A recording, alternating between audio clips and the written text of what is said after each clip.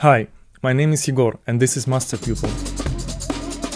Today I will tell you about an underestimated technique which helps me to deliver my sound whether it's loud or quiet. To play loud on piccolo is not a big deal, but when it comes to quiet, it's a bit more trickier. Let's imagine this situation. It's almost silent in the concert hall and you have a couple of solo tones to play when everyone, including orchestra, is listening. But in your score you see this. Yes, it can be a little bit stressful, but I think I know how to face it with less negative emotions and enjoy music. Let's face it, our instruments are not perfect. Of course, they are polished and tuned compared to old instruments, but still, in order to get the balanced sound, we need to compensate the design flaws. There is one magic bullet to find out what you do wrong and what you should do instead. I'm talking about whistle tones. Whistle tone is a pure harmonic of the pressed fingering. It's a tiny sound which resonates just in the labium, the entrance for airstream. You don't need any extra gear or expensive flute to give it a try. However, you will need some patience and a relaxed quiet environment. The size of tube is kind of changing while we open or close keys.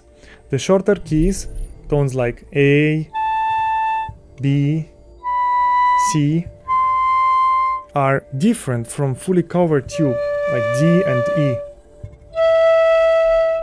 In order to equalize them we need to change something.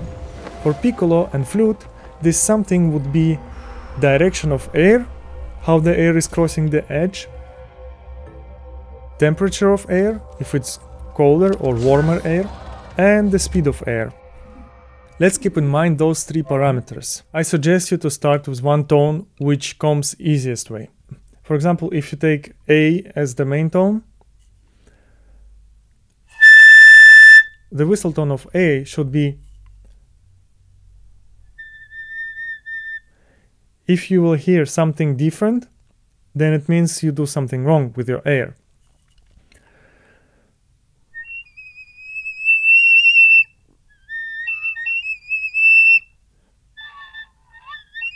Whistle tone is just a tiny slice of the sound. Normal sound of piccolo or flute is actually not rich in harmonics, but it's still way richer in texture.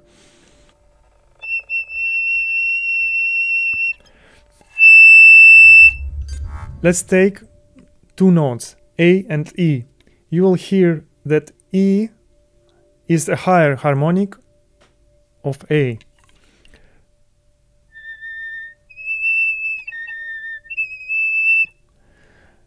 If we will play an A with the position for E, the tone will be too open and almost out of tune, low on subharmonics and annoying. In order to, to fix that, I use whistle tones. Slow down a little bit air, try it out. Instead of and then again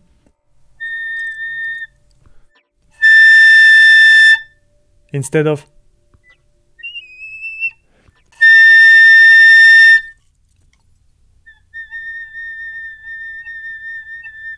This is your first whistle tone. Then, step by step, you should go up.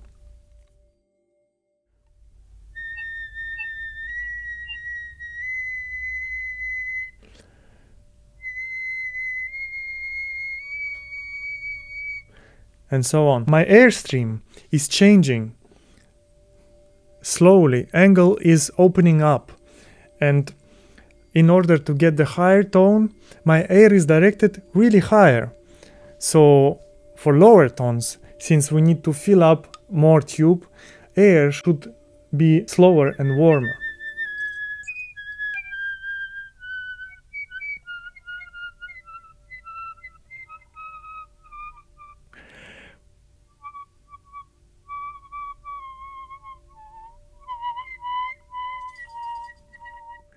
Every time you go higher, semitone by semitone, your angle should open up and you will see the difference between each tone. Then, when I play in a normal way, I will know where to direct my airstream and what happens because the harmonic is changing.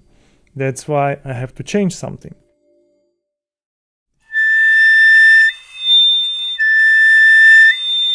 Always remember, relaxed cheeks, relaxed lips. Also here, everything should be as relaxed as possible. If you are afraid to lose focus, you should lose it and go towards this fear. Because squeezed lips and squeezed embouchure gives you way less colored tone because this air is too fast, it's uncontrolled.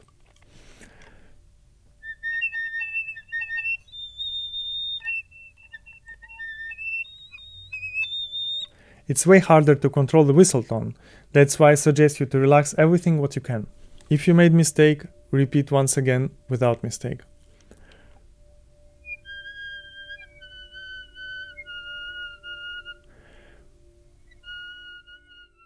Whistle tones are great self-analysis tool to see what happens to your airstream and what should happen in order to get the best resonation. I found that Whistle tones help me to control my tone color, intonation, ability to mix with other instruments, and even dynamic span. I encourage you to make it your daily habit.